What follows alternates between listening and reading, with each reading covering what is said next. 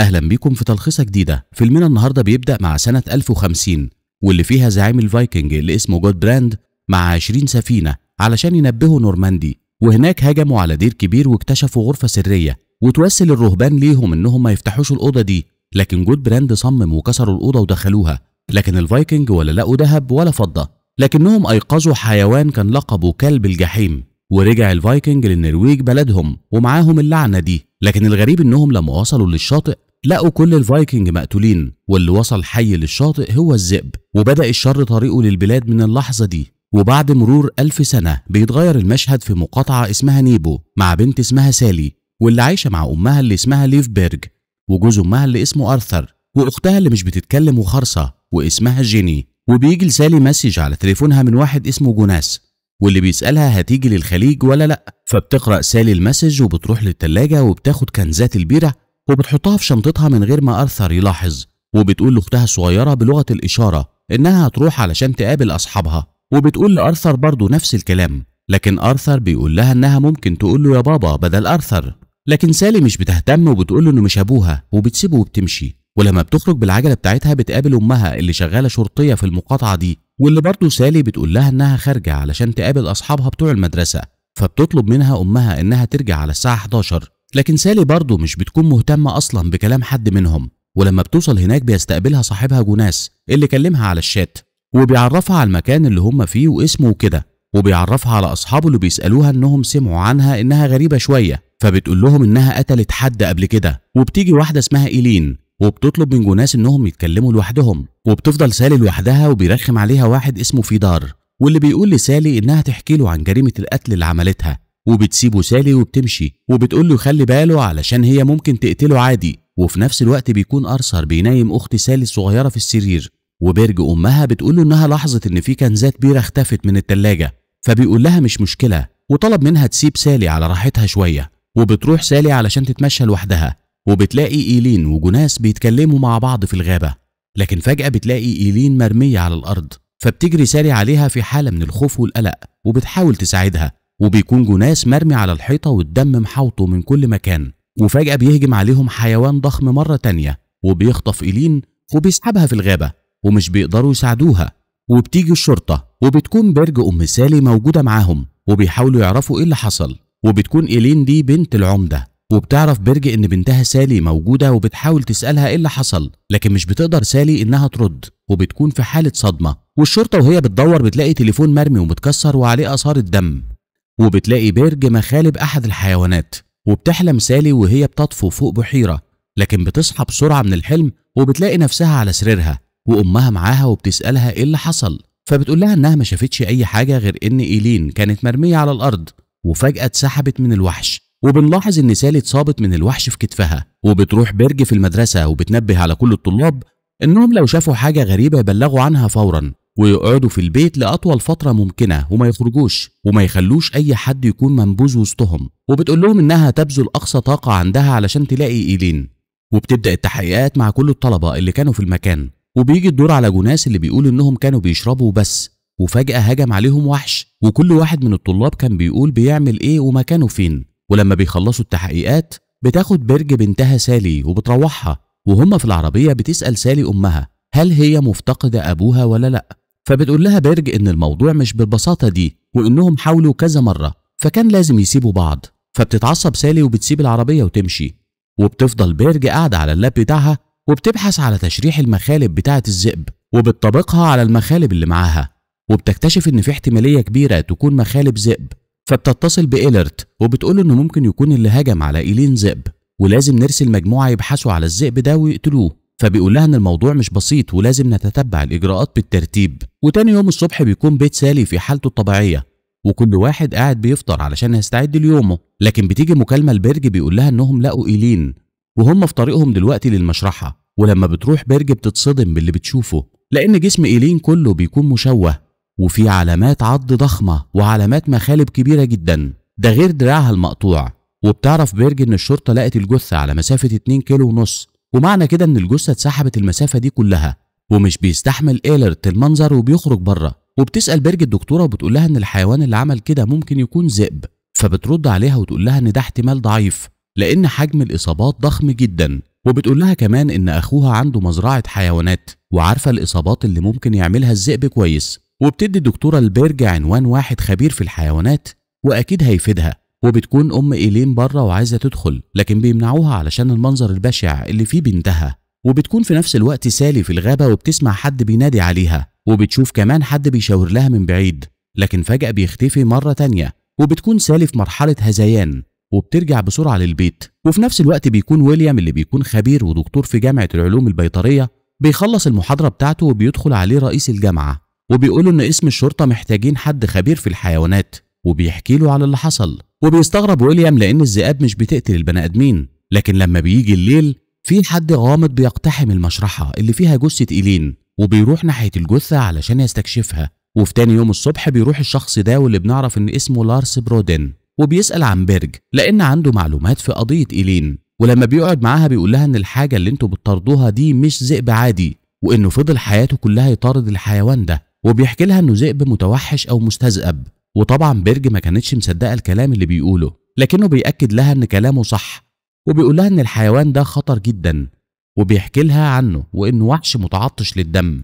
لكن بيرج بتقول له إنه بيضيع وقتها وإن كلامهم خلص خلاص فبيقول لها إن ممكن يلاقوا مكانه لو احتاجوه في أرض التخييم. أما الوحش ده هيلاقوه في الكهوف وإنهم لازم يقضوا على الوحش ولازم يكسروا السلالة بتاعته ويمنعوا انتشار العدوى.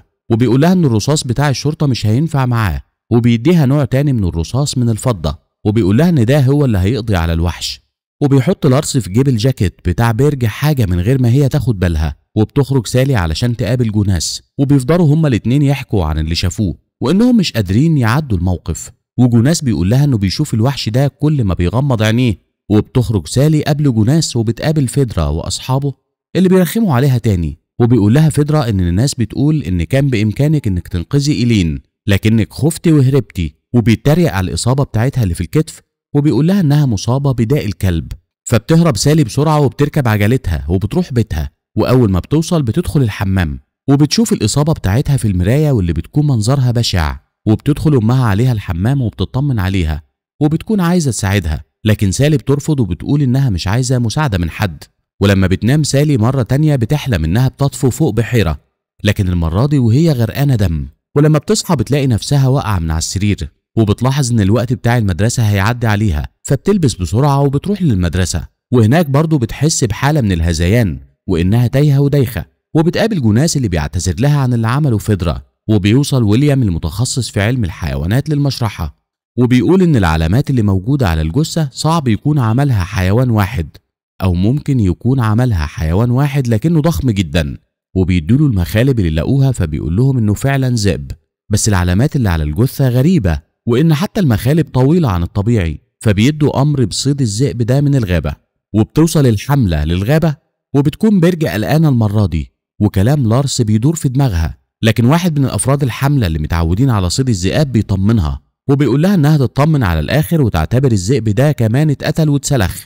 وبيقول لها كمان إنها تفضل جنبهم علشان تكون في أمان. وبتكون سالي في الفصل وحالة الهذيان اللي هي فيها بتزيد وبتأثر عليها مع مرور الوقت. وفجأة بتبص بتلاقي واحدة صاحبتها أسنانها شبه المستذئبين فبتاخد سالي شنطتها وبتطلع بره الفصل. وبتروح الحمام علشان تفوق شوية لكن بتسمع واحدة بتبكي فبتحاول إنها تطمن عليها. وأول ما بتقرب من الحمام بتاعها بيتفتح وبتكون إيلين اللي بتقول لسالي إن هي السبب لأنها ما أنقذتهاش. فبتخرج بسرعة سالي من المدرسة وبتكون خايفة جدا. وبنرجع للحملة وهم بيدوروا. لكن وهم في الطريق فضل الكلب ينبح وده معناه إنهم قريبين من حاجة خطر. وفعلا لقوا جثة واحد ووشه مشوه ومقتول. ولاحظت بيرج إن إيلرت خايف وبيقول لها كمان إن هي لازم تكمل. وفعلا خلت اتنين شرطة مع إيلرت لكنها قالت لهم إنهم هيفضلوا مع الجثة.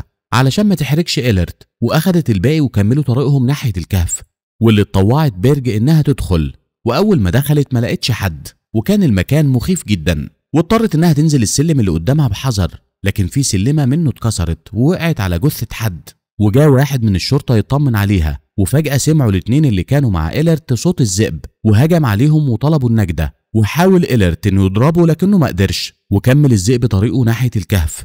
ووقع المصور في الحفرة اللي كانت فيها بيرج وأول ما بيرج طلعت من السلم لقت الذئب قدامها فوقعت واتصابت. وانقض عليها الذئب وكانت بيرج في حالة من الصدمة والخوف وحاولت إنها تضرب عليه نار كذا مرة لكنه مش بيتأثر لغاية ما طلعت آخر رصاصة كانت في جيبها ودي الرصاصة اللي من الفضة اللي اداها لها لارس وفعلا قتلت الذئب. وبتفوق بيرج بعد المعاناة اللي كانت فيها وعندها إصابة في دراعها وبعدها راحت تطمن على إيلرت اللي كان في حالة غيبوبة. ووصلت رئيسة البلدية اللي هي في نفس الوقت أم إيلين وقالت لبيرج إنها عملت كتير قوي علشان البلد دي. وهتفضل تعمل وإن الظروف الصعبة دي هتعدي. وهم نازلين جت الصحافة علشان تغطي الأحداث وقالت أم إيلين وبيرج خطاب عن اللي حصل. وفي الليل لاحظت البنت الصغيرة جيني إن أختها سالي بتبص لها من الإزاز بتاع الأوضة وبتحاول إنها تتكلم معاها. لكن سالي مش متجاوبة مع حد.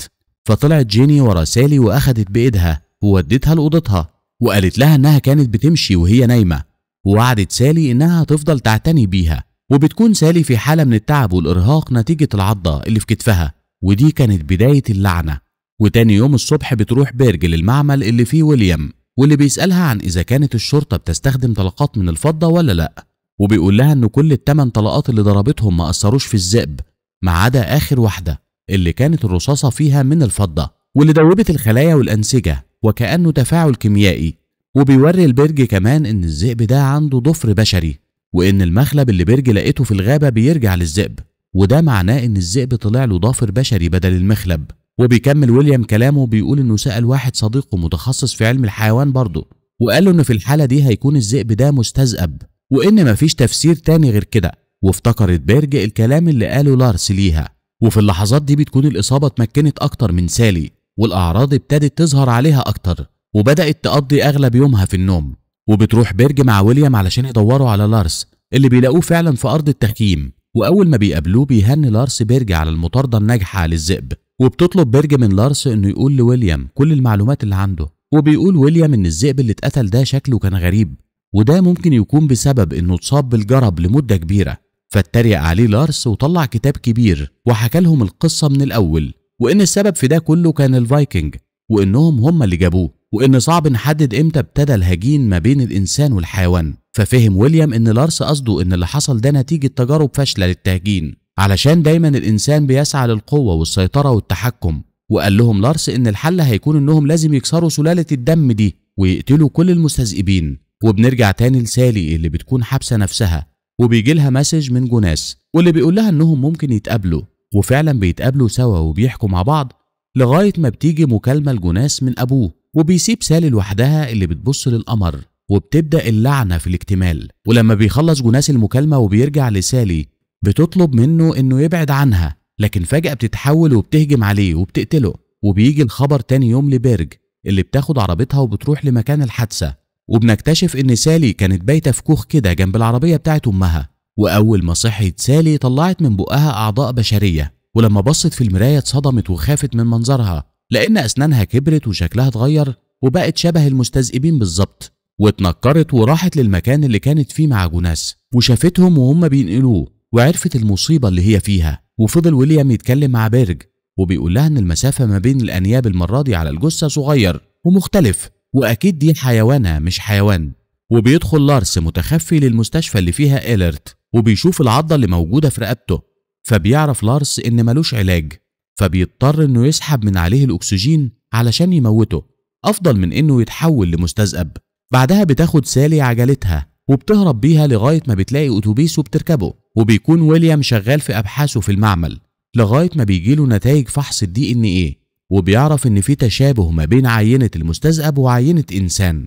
ومعنى كده إن فرصة العدوى هتنتشر في البلد كلها وإن البشر مع الوقت هيتحولوا لمستذئبين. وبتكون سالي في الأتوبيس وبتبص مرة تانية للقمر والمرة دي اللعنة بتكون اكتملت وبتتحول سالي تحول كامل لذئب وضوافرها بتكبر وشكلها كله بيتغير وبيكون الركاب كلهم مستغربين إيه اللي بيحصل ولما بيبصوا عليها بتبدأ تهاجمهم.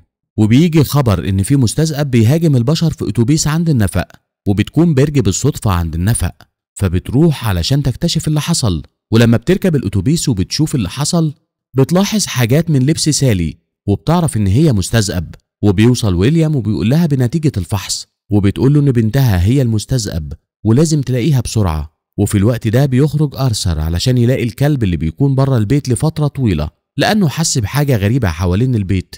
وفي اللحظة دي بتدخل سالي لأوضة أختها على شكل مستذئب. وبنحس اللحظات إن أختها الصغيرة جيني عرفت تأثر على سالي المستذئب. لكن بيدخل أرثر في الوقت المناسب وبيضرب الذئب بعمود الأباجورة وبيدخل العمود جوه بقه فبيتكهرب الذئب شوية وبتكون فرصة علشان أرثر وجيني يقدروا يهربوا.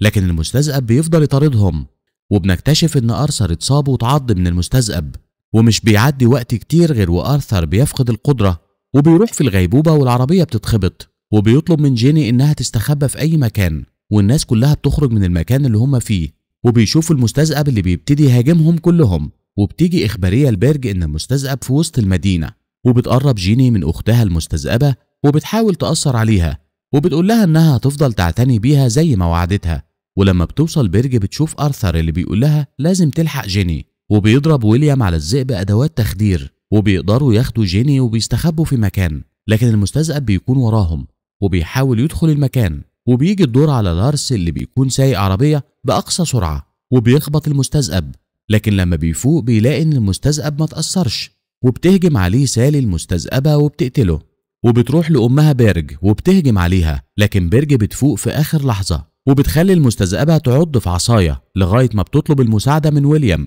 اللي بيكون مغمى عليه ومش قادر يتحرك وعمال يحاول إنه يوصل للسهم اللي فيه مواد تخدير فبتفهم جيني وبتروح تاخد السهم وبتحطه في جسم أختها المستذئبة فبتفقد الوعي وبتتشل حركتها وبتحضن جيني أمها ولما بتخلص الليلة دي بتروح بيرج تاني يوم للمعمل اللي فيه بنتها المستذئبة. وطبعا عمالة تبكي وبتطلع المسدس بتاعها وبتوجهه ناحية بنتها وبتقول لها ما تخافش أمها جنبها. بعدها بتروح بيرج البيت وبتحط الرصاصة وبنفهم من كده إنها ما قدرتش تموت بنتها المستذئبة.